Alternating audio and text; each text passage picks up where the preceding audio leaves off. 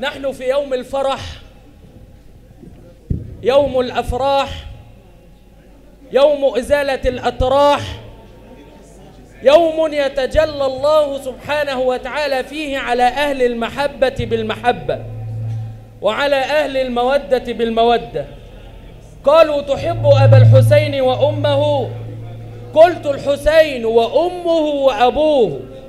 وكذاك زينب أخته أم الندى وكذلك الحسن الكريم أخوه. وجميع من يدلي إليه بنسبة أحبابه من آله وذووه.